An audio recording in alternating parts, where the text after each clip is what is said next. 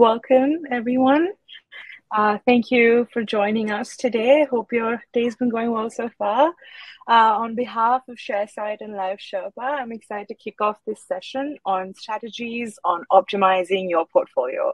Um, well, those of us who haven't um, heard of Sharesight or are just looking for like a refresher about who we are, Sharesight is an online portfolio tracker that empowers investors by simplifying complex investment data, helping them make informed decisions and become savvy investors. Uh, with 400,000 users globally, our goal is to bring institutional level insights to all investors, from beginners to experienced investors, as well as intermediaries such as accountants and financial advisors. Uh, today's session is led by Vince Scully, who's taking time out of his busy schedule to sit down with us and share his strategies on optimizing your portfolio. Vince is the founder and CEO of Life Sherpa, Australia's most affordable financial advice service. Uh, he's a veteran financial advisor with over 35 years of experience in finance and was named one of Australia's 50 most influential advisors of 2023 by the Financial Standard. He is also a best-selling author of two books, having having also written "Live the Life you want with the money you have a money handbook for the new generation which i highly recommend for everyone who's like me, a beginner investor or a seasoned investor to give it a read. It's really helped me understand markets and adapt and create my own investment strategy as I dive through the world of investment. Uh, just a few hygiene checks. Uh, we will have some time for questions towards the end. So during the presentation, if you have anything to ask Vince, just pop your questions in the Q&A box on your right that you see, and we'll try our best to get to all of them um, towards the end. Uh, and well, let's get started without taking too much time. Over to you, Vince. Thanks, Mangi. That was a great introduction. And the purpose of today is really just to introduce investing. Over this session and the coming sessions, I hope to get through everything you need to know and everything you need to do to be successful at investing. And today we're going to start at the getting started piece. Um, laying the foundations is always the key to building a solid building. And today we'll start with those foundations. So let's get cracking. Where's my mouse? There we go. So the first point is when's the right time to get inve- to get investing. We can't really time the market, so what matters is when you're ready.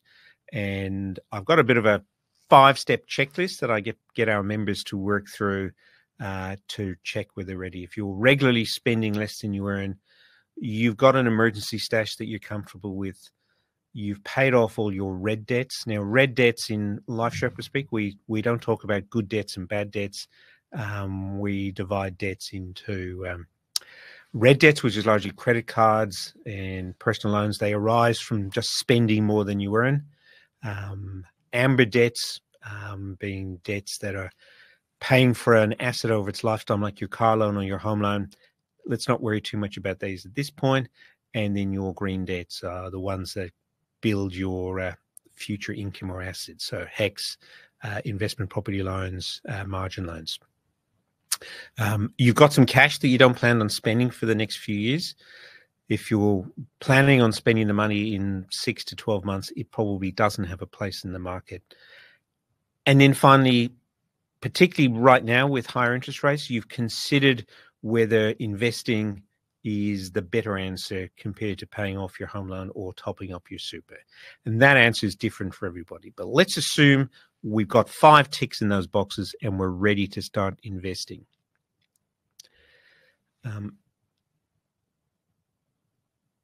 the um, when it comes to investing, there are three main levers that you can pull. There's how much you you're able or willing to invest how long you're going to invest for, and the return you can target. You can sort of choose any two of those, and the third one will uh, will uh, will fall out. So, for example, um, if you want to aim, if you're aiming to accumulate one hundred and fifty thousand dollars, and you can set aside thousand dollars a month, if you can earn 4.5%, you'll get there in 10 years.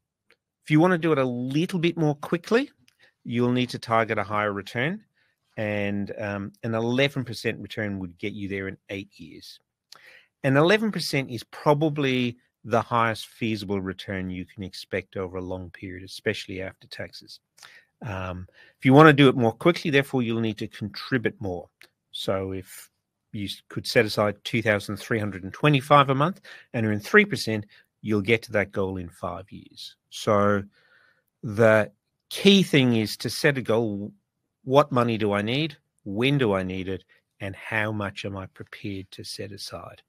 So the lower the return you expect, the longer you're going to take, or the more you need to set aside.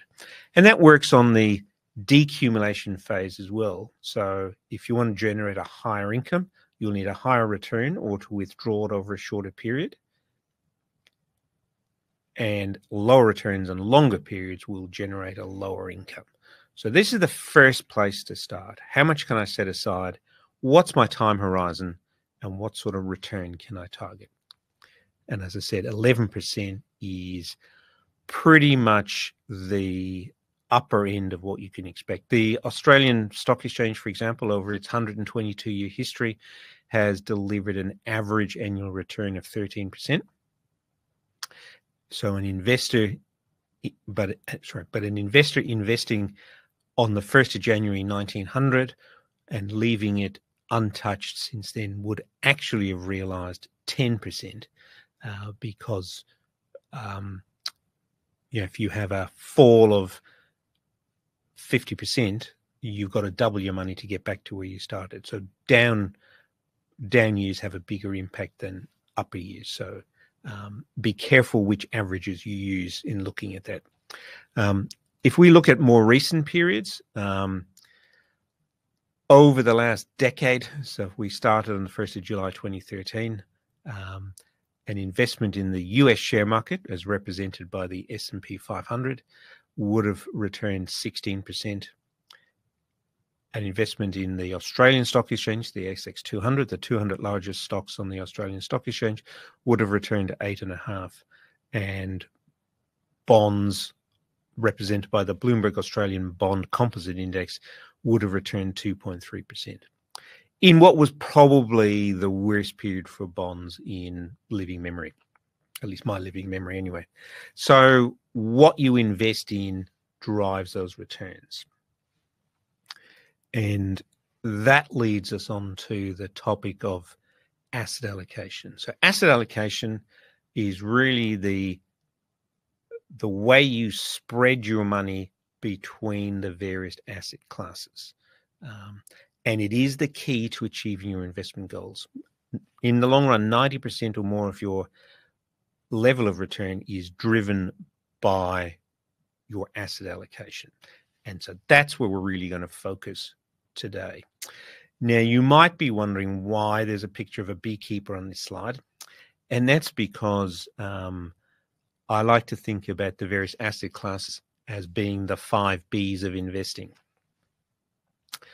And the five Bs um, are starting at the least risky, um, bills being bank uh, uh, bank uh, banknotes, uh, cash, or cash-like. So that's really term deposits, deposits, and other cash-like investments. Uh, bonds, the second B. Bonds are loans to the government or corporates generally, and um, in most cases, we are talking about high high credit rated bonds, generally to governments, but we can come back and cover that in a, in a future episode. And then the third defensive B is bullion, um, which for most retail investors means gold. And those three Bs are, we call them defensive assets because they will generate low risk, relatively stable returns over time, but will struggle to beat inflation in the long term. They're in your portfolio for ballast to smooth things and um, reduce the variability in your returns. the other side of the coin is growth assets, and these are assets that are capable of beating inflation in the long term. And there's really two of those um, bricks and businesses. So, bricks uh, includes real estate and infrastructure, and they generate equity like returns, but with more stable returns. And that's because the income they generate. So we look at real estate, um, that generally means offices, factories, warehouses, shops, and they generate long term, generally CPI linked income driven from rentals. And um, capital gains or losses in the long term. Uh, infrastructure generally operating in monopolistic um, sectors, you know, we're talking about electricity, water, roads, railways, power stations. All of these, or many of these, generate regu- regulated returns where the government dictates the price and demand is relatively inelastic. So those two are the um, the relatively um, more stable of the growth assets. Um, and then businesses really is shares. So a share is really a small sliver of the ownership in um, in businesses, and shareholders share in the income or the profit of that business through dividends and through growth in the value of that business over the long term through capital growth. Um, now, um, Daniel says, um, interested to see that I consider bullion to be defensive. Um, that's an interesting point, and certainly anyone looking at um, the last decade or so would have seen gold deliver very strong returns. But over time, it's really seen as a an inflation hedge. It's seen as a safe haven by many investors. And for those reasons, it's usually classified as a defensive asset. Um, it does have some growth characteristics. So over some periods, it will give a return greater than inflation. Um, but for an Australian investor in particular, um, gold provides a very good hedge against our currency. Gold is priced in US dollars, and um, it tends its price tends to go up when markets turn down. Broad generalization, and when markets turn down, investors head to the US dollar, which depresses the Australian dollar and increases the value of the US dollar, which increases the value of gold in Australian dollar terms. So it has a special place for investors we, who live or spend their money in commodity based currency. So Canadian investors, South African investors, and Australian investors, particularly. Um, but it, I agree, it certainly I agree with Daniel that it certainly does have some growth characteristics. Um,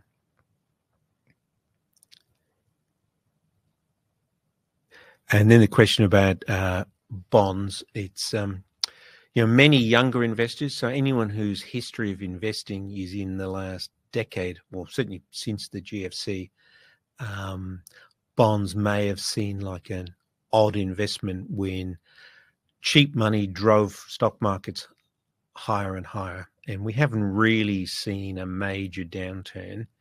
Um, apart from the very short-lived GFC, uh, sorry, the short-lived COVID blip, which was over before many people realized it. And the market peaked in February 21, 2020, and plummeted very shortly thereafter. But it was back where it was by June. So that doesn't quite have the same um, memory effect that a GFC or 91 or an 87 or 74 might have on the investors. So many investors whose experience of investing is really just the last decade or so would feel that bonds don't belong in a long term portfolio.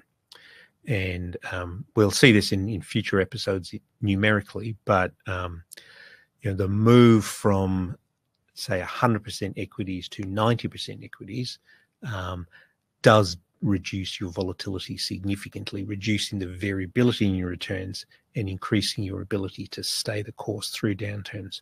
So bonds should not be underestimated, and um, cash is or your offset account is not a substitute for bonds. So they're the five Bs, and that's why we have a beekeeper on our introduction.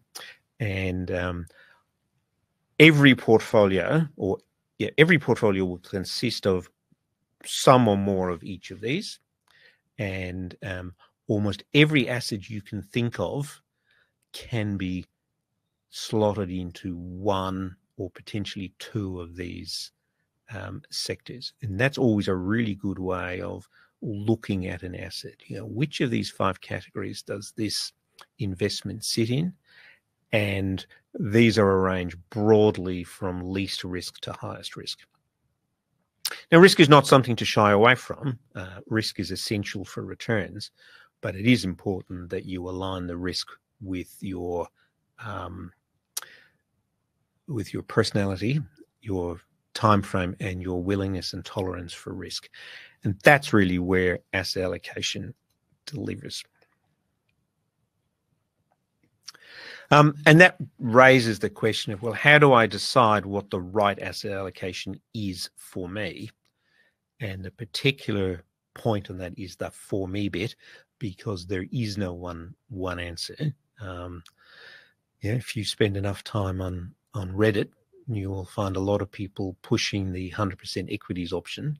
And um, whilst that might feel good in a generally rising market, um, it's unlikely to be the right answer for most people over the long period.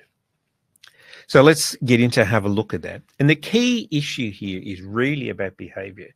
In the words of Benjamin Graham, author of The Intelligent Investor, um, it's a tough book to read. Um, if you do, uh, it's a gem of a book. Uh, it is worth persevering. If you do want to read it, there is an annotated version, um, which is uh, worth seeking out if you can find it. Um, but Benjamin Graham said that the investor's chief problem, and possibly his worst enemy, is likely to be himself. So our behavior is the key to earning the returns that the assets we invest in are capable of delivering. Um, and so that's the the key to to to do, doing that. Um, so that behavior is really driven by um, our risk profile, and risk profile is in part a function of your personality and your makeup. It's in part driven by your level of experience. It's in part driven by your ability to recover from a loss, and um, it is very much psychology driven. Um, so we generally describe risk profiles in a spectrum from conservative to high growth. These names are not particularly consistent. So if you see them applied to a, a fund or an investment, you need to scratch the surface a little bit more and work out what is the asset allocation it's describing. Um, historically, a balanced portfolio would have meant 50 50 or 60 40. Uh, that is 50% defensive, 50% growth, or 60% growth, 40% defensive.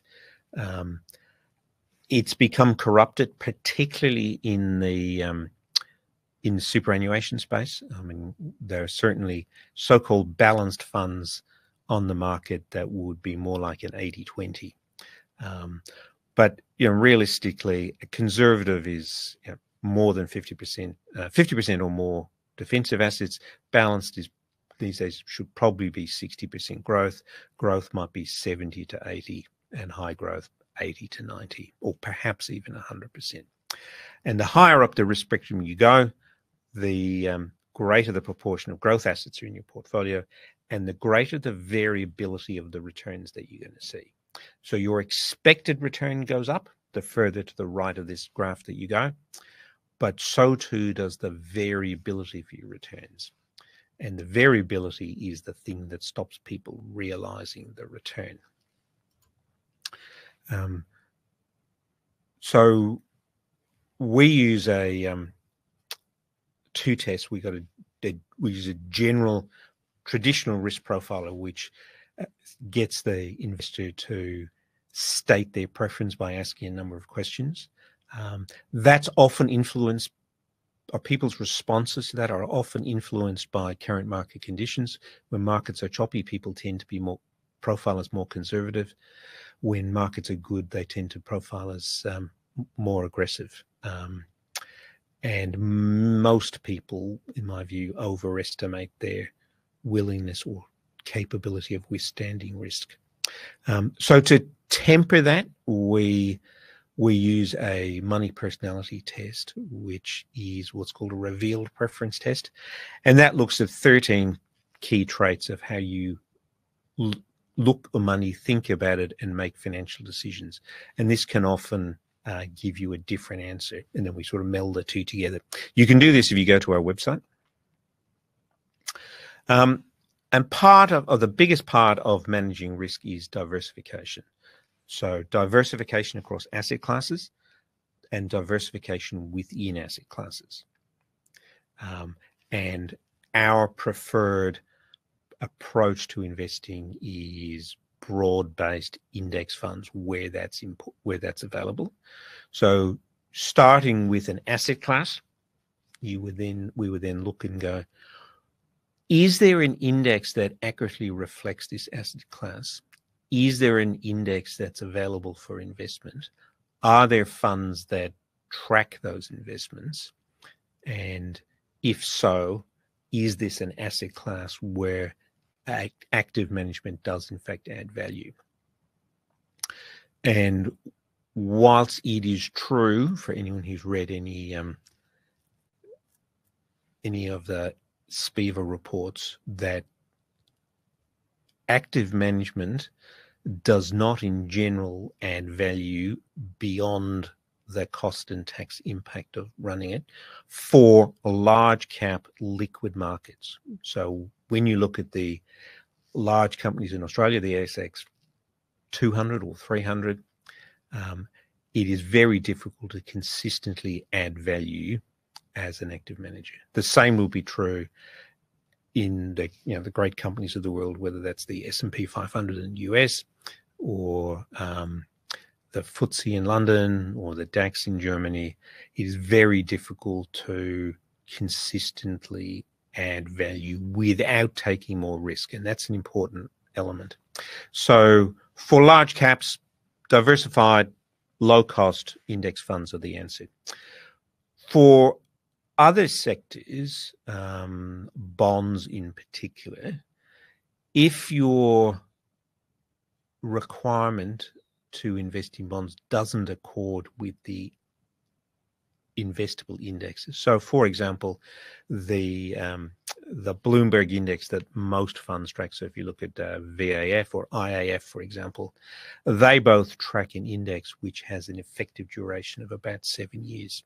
So if you're looking for a bond investment with a shorter term, that index isn't going to be suitable, and those funds therefore won't be suitable, which may force you to look for a, a fund that's benchmarked elsewhere, and that may lead you to active funds. Um, for most low, oh, sorry, most high growth portfolios, that is anything over 80%, the role of bonds in that portfolio, and we look at this in more detail in a, a, future episode of this, but the role of bonds in that portfolio is to provide a buffer. So you need the closest you can get to a risk free asset, which to an Australian investor is Australian government bonds. And um, the lowest cost way of getting that is to look at some of these longer dated funds.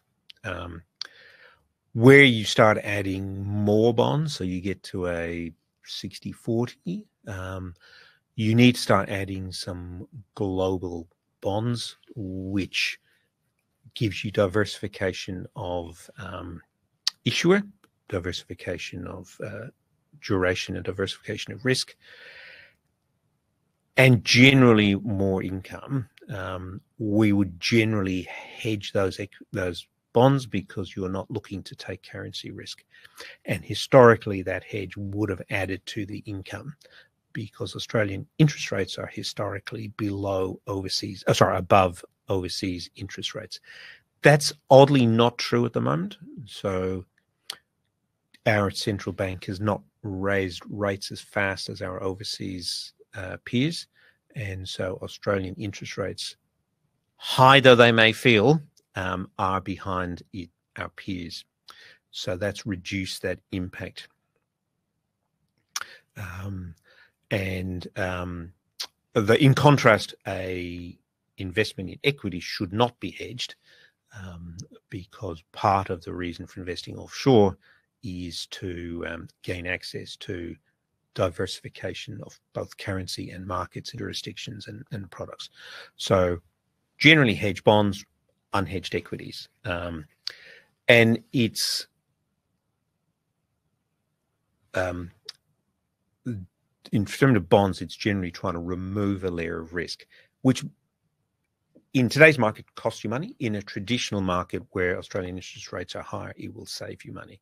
So, um, so that's the areas where there's big, big liquid funds where indexes are available.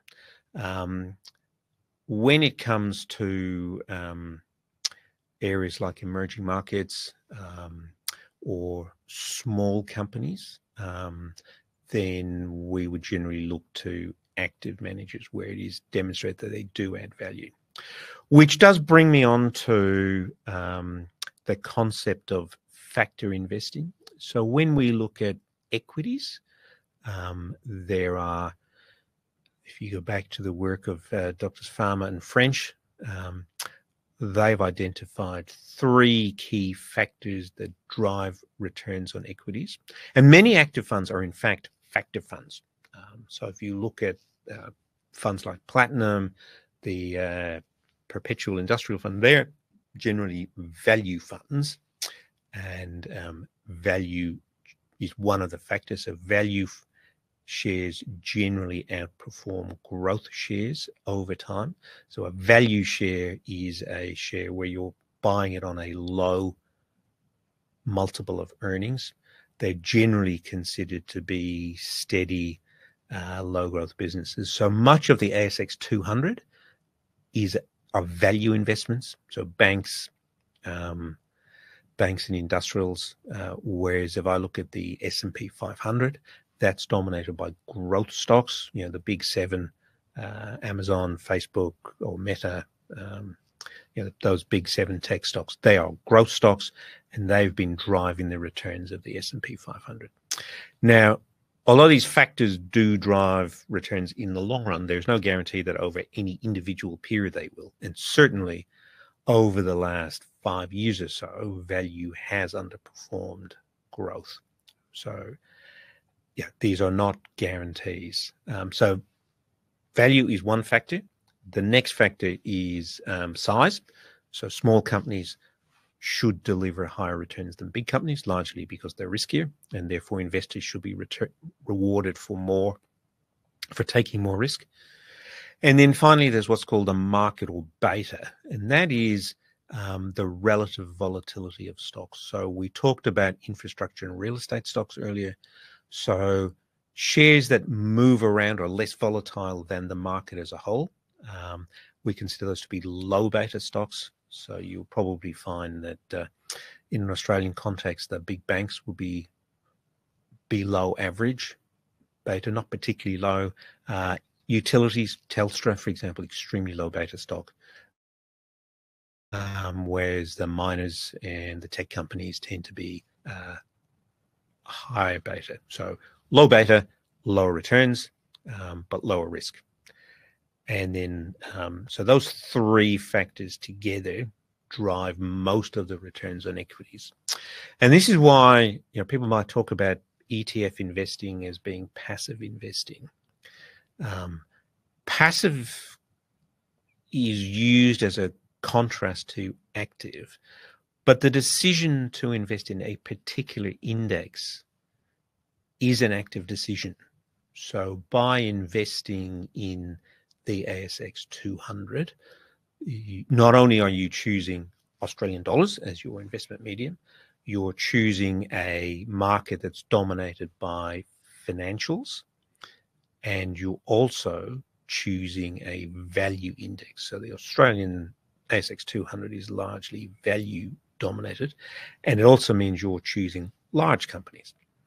All three of those are important decisions in how you allocate your investments or your asset allocation. And um, that is far from a passive decision. So be very careful about um, you thinking that ETFs equals index equals passive. Um, I rather think about it as algorithmic funds where you're using a machine to select the assets rather than um, a human and it's generally mathematically based. There is some discretion applied to the construction of the ASX 200 um, and other indexes, but it is an active decision. On the bond front, the two factors that grow bonds are duration. So a longer bond should give you a higher return normally, sometimes it doesn't, and a higher a lower credit rating should give you a higher return. So these this is the five factor model of um, Fama and French, and will explain most of the variance in returns within an asset class. So most of the big funds um, tend to have a style bias which drives their return. Um, most of the big funds that you'd be familiar with tend to be value based uh, you know, Warren Buffett's classic value investor, um, the perpetual industrial fund, classic value investors, um, uh, platinum global, classic value investors. Um, and those styles go and come at, uh, come and go at, in fashion. So an ETF, single trade, thousands of assets that you, hundreds or thousands of assets, and generally low cost easy to acquire. Brokerage is getting really cheap, so it's often a really good way to to get started. But it does need to be supplemented by um, active, where management does add value. Um, so that leads you to well, how do I pick my portfolio? So you start with your overall growth and defensive split which is largely a function of your um, risk profile and investment horizon. And having done that, you now need to say, well, within my growth allocation, what is my split between bricks and businesses? And within each of those, what's my split between um, value, growth, big, small, domestic, global, emerging markets, infrastructure, real estate. And then, having concluded that, we then identify whether there's an appropriate index that tracks those, and then link that to a to a fund. Um, when you start looking at active funds, small caps, for example, um, it's generally good to um, go at, take a couple, two or three managers to balance out those styles and manage the volatility a bit more. And having done that, then obviously getting getting set um, in the market, um, investing regularly, trying to remove emotions from it, and importantly, rebalancing regularly. Um, now, rebalancing is not necessarily about improving returns. There's a lot of very conflicting evidence as to whether it does or doesn't improve returns. But that's not really the point of it. The point of it is to maintain your asset allocation. So, given that growth assets generally deliver higher returns than defensive assets, left unbalanced, your portfolio will end up being more biased towards growth assets. So if you start with an 80 20 and leave it over time, that's going to drift towards 90 10, 95.5, and now you're taking more risk. In a rising market, that may not bother you too much, but it's when it turns that um, it really matters. So, rebalancing is about risk mitigation, it's about aligning your investments with your risk profile and hence your returns. So don't look at it as a performance enhancing tool. In academically, it should, in theory, reduce your returns because you're taking risk off the table. In practice, the discipline of doing this regularly without emotion does tend to deliver higher returns, but it's not not a strong correlation, um, and it's actually discipline rather than the rebalancing itself. And the same can sort of be said for uh, what we call dollar cost averaging, that is, investing regularly in the market um, by putting the same amount of money in without allowing your emotions to um, to get in the way and buying the assets that are below your target will uh, generally give you a better answer over time not a better answer to putting the money all in up front. So if you have a lump sum, mathematically the best answer is to put it all in now. Psychologically, um, that's potentially dangerous, but mathematically that's the one that will give you the highest return. And sort of pulling this all back together again, um, you know, what we learn here is that the market delivers the return um, the job of your advisor or your coach or whoever you're taking your guidance from in this is to ensure that return ends up in your pocket. Um, because most investors underperform the assets they invest in. And uh, the US Dalbar study shows that this is potentially you know, 2 to 3% a year because we tend to invest more money when markets are good and take money off the table when markets are bad. Not necessarily triggering a sell button, but easing off on how much we put in. You know, there would be very few um, DIY investors who would have been investing money in September 2008. That would have taken, you know, a lot of discipline to see the market fall 30% and continue to invest the same amount of money. Um, a good plan, a regular plan with on automated investments will certainly help. Um, and it's that consistency and quality of your decisions that that that will make the difference. Um, some of what an advisor does, or your portfolio manager, whether you choose to buy a multi-asset ETF like uh, the Vanguard Diversified Series or the BlackRock equivalent, um, part of this allocation is mechanical. You know, it's making sure that you maintain the asset allocation, you uh, reinvest your dividends, you make sure that new money gets invested. Um, we make sure that we manage taxes. Some of it is technical, which is around you know that whole tax planning strategy. It's about replacing funds when they're no longer available or they their style has drifted and then some of it is uh, is behavioral, which is much of it. So that's how you need to get there. So overall growth defensive split. Not all 80-20 portfolios will perform the same. Um, between the five Bs. Within each of the five Bs, then look at your allocation to factors, geographies, and size, and choose appropriate funds to achieve that allocation, and regular rebalance.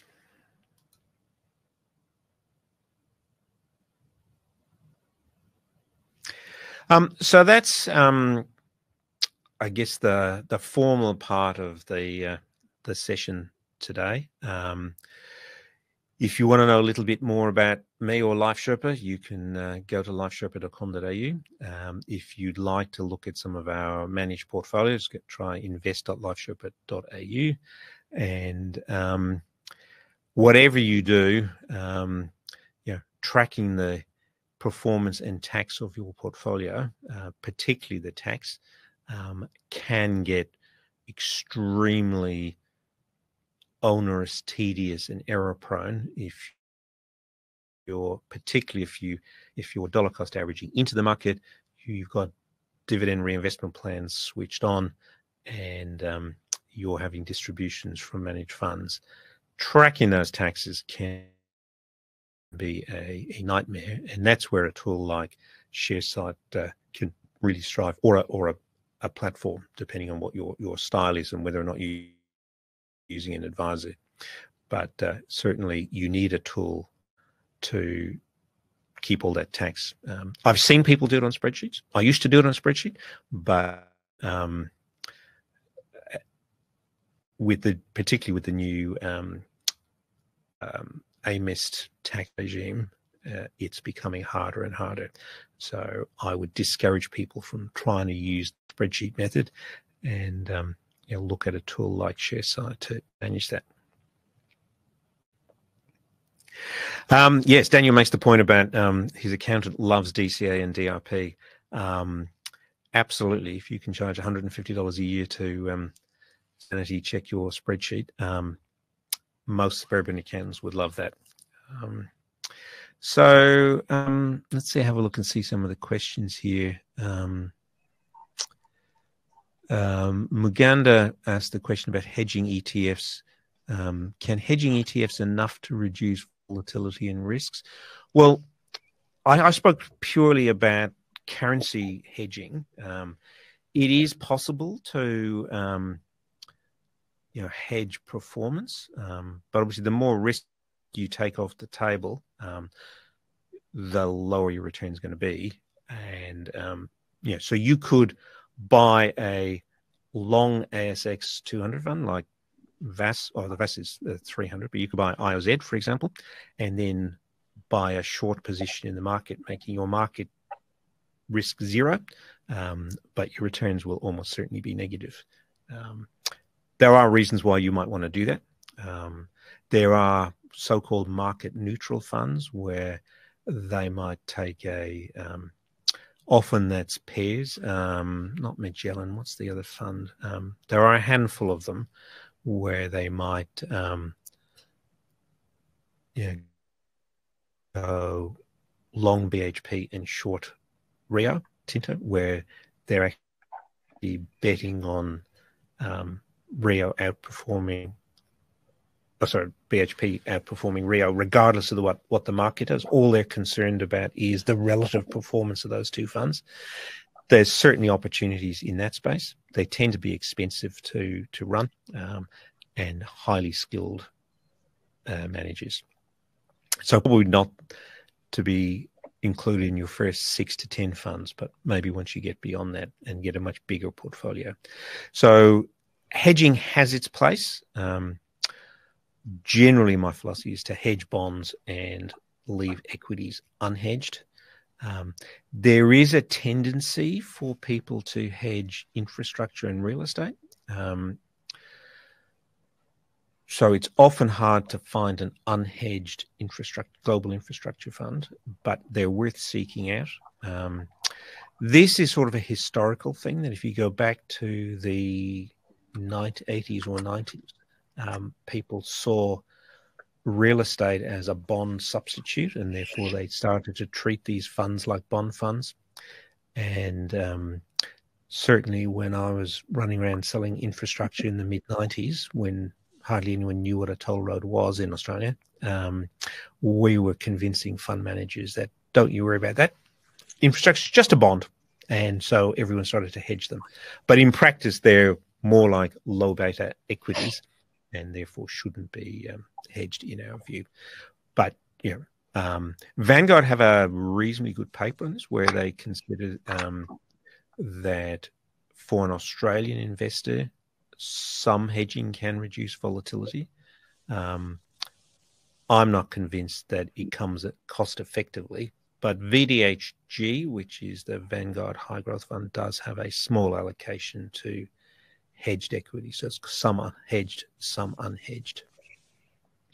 Um, always be careful with the having a bet each way approach. Usually in finance, it leads to the worst of both worlds, not the best of both worlds. Um, so Gary says that he agrees with Michael about putting cash under the mattress. Um, that's um, you know it's one of those guaranteed investments that um, you guarantee you'll have the same number of dollar bills at the end of the day but um, assuming the silverfish don't eat them. But um, you know what you're guaranteeing is that the purchasing power of your portfolio is being whittled away. Um, we've had an average inflation rate probably for um, 50 years, 40 years of 3 to 4%, which means your money, purchasing power of your money halves in 24 years. So if you're a 30 year old saving for your retirement, um, ain't going to be that much of it left by the time you get to 90. And, uh, believe me, when you get to my age, 90 starting to look pretty, pretty, pretty close compared to where it did when I was 30. So, um, yeah, inflation is your enemy when it comes to long term investment, and growth assets are the the antidote to inflation. But you need enough defensive to um, help you sleep at night. So it's really enough growth to deliver you the asset, the return you need, and um, enough defensive to um, um, let you sleep at night um, and stay the course. Um, and you know, depending on what your goal is. So if your goal in ten years' time is to pay for your um, your daughter's high school education, probably want a relatively certain outcome. So you might want to tone down the growth allocation there. Whereas if you're looking at a 40, 50, 50 year horizon, then you might want to crank them up a bit. Um, so the question here, here is uh, Daniel asked the question about um, have super funds cooked the books a bit by holding commercial property that hasn't been revalued? Um, that's a really interesting question, and this is part of the reason why we don't like unlisted assets at LifeSherpa. Um, unlisted assets should, in theory, give you a higher return because investors pay more for liquid assets and therefore they deliver a lower return. So, like for like, you would expect to earn a higher return from an unlisted asset. In practice, that's often obscured by some structural things and is a problem for retail investors because getting information to know what you're buying is the hard part. So, um, in relation to real estate specifically, um, the way to analyze this, if you look at what's happened to listed real estate prices, so if you go and find any REIT or real estate investment trust on any market, so start with the ASX and look at its share price relative or unit price relative to the net tangible assets of the buildings, effectively the value of the the value of the underlying buildings as represented by the accounts. And what you'll see is that the value of the units has tracked down relative to the book value. That is, they're trading at a discount to book value. And that's a sign that the market values the buildings at less than the valuers did when they drew the last accounts. And that's okay because you're buying on the market at a price that the market thinks those buildings are actually worth. But when you buy units in Australian Super or Host Plus, um, you're buying those at book value. And so they may or may not reflect the actual value of the underlying asset. Now, people might say, well, I'm not going to spend this for 30 years. Um, does it really matter? And the truth is that that is a transfer of wealth from outgoing investors, um, yeah, baby boomer retirees, and from accumulating uh, millennials and zennials and Gen Xers. So, generationally, it's probably not particularly fair. And for that reason, you know, we would generally encourage looking at listed assets. So that's a sort of a general principle about listed assets. There is a particular reporting problem in Australian super funds. and that is that APRA, the regulator, allows super funds to categorize unlisted assets differently to the same asset as if it were listed. So listed infrastructure will be categorized as 100% growth assets. So, um, whereas unlisted infrastructure or real estate for that matter can be categorized as 50% growth, 50% defensive. So many of the super fund, big super funds had in investments in Brisbane Airport, which would be because it was unlisted, was categorized 50% growth, 50% defensive, whereas UniSuper's 19% holding in Sydney which was listed, was considered 100% growth. Now, it doesn't take a rocket scientist to work out that a, a Brisbane airport, you know, a regional airport with high capex requirements, more volatile traffic, and more debt um, would be a higher risk investment than Sydney Airport, which was you know mature market, low levels of capex, um, and not much, uh, and you know not a lot of spare capacity, so they weren't relying on growth. So, and more importantly, the day the big super funds took Sydney Airport private by delisting it, they acquired it and stuck more debt into it, and therefore it obviously became a riskier asset. And yet it got classified as 50% intensive. So you really do need to look through the headline numbers if you're going to do this. Um, and um, the funds now um, need to disclose those assets. So every fund will have on its website a thing called a PHD or portfolio holding disclosure. Um, they make for very interesting readings. Um, yeah, maybe not the sort of thing you want to do on on vacation, but yeah, it's worth having a uh, having a look through that. We have time um, for one more question. I think. One more question. So the question is: um, REITs or real estate investment trust, growth or defensive? Um, they do have some defensive characteristics. They are what I call low beta equities. So low beta means they move less than the market. So when the market moves 10%, um, you might expect a REIT to move 0.6 of that, so maybe 6%.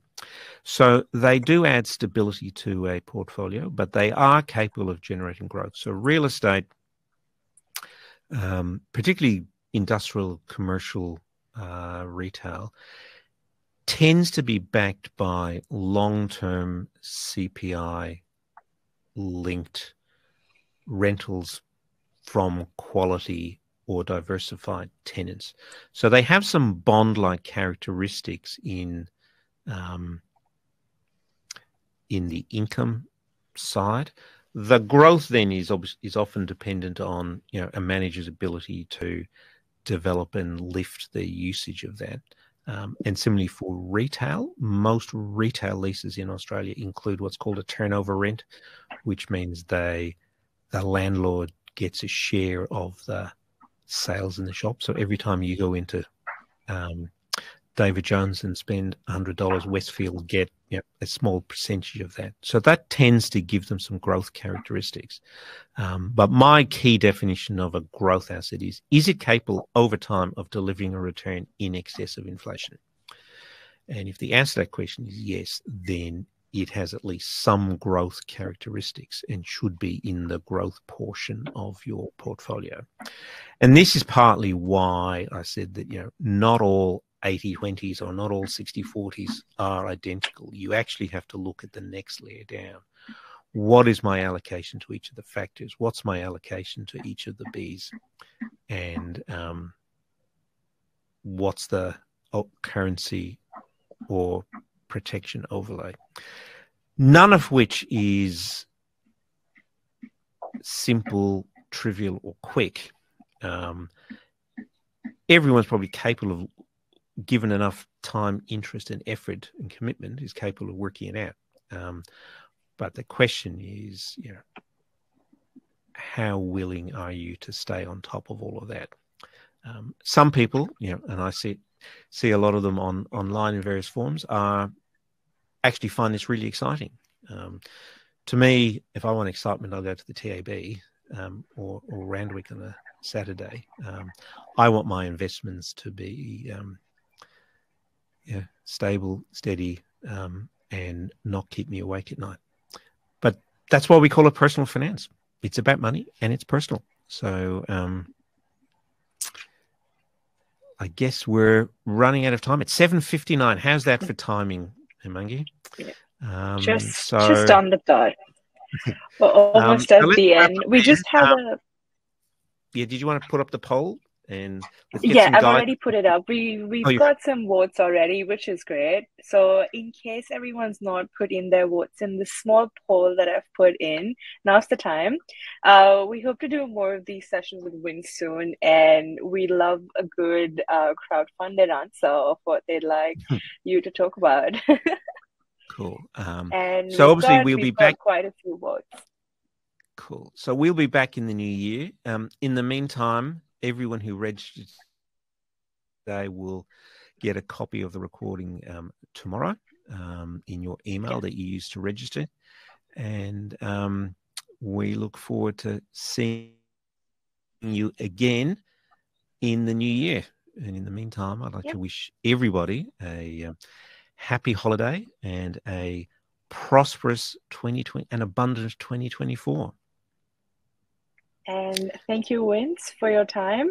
Uh, just before we close off, I just wanted to inform that this was uh, con- this was information for educational purposes only. This is not financial advice. Uh, we hope that everyone uh, got a lot of learnings today. Uh, I know I did. I got a few key takeaways to take home and just in case you wanted to practice those learnings. And we just want to remind you that Sharesight is here to help you prepare for the new year so you can stay on top of performance, asset allocation, and tax reporting all year round. Uh, we hope to see you at the next one. Thank you, Vince. Pleasure. And, and, and just to reiterate that this was general financial advice. I have a license for that, but it's clearly not personal since I don't know any of you individually. So, Amazing. with that, we're going to sign off and we'll see you again in the new year.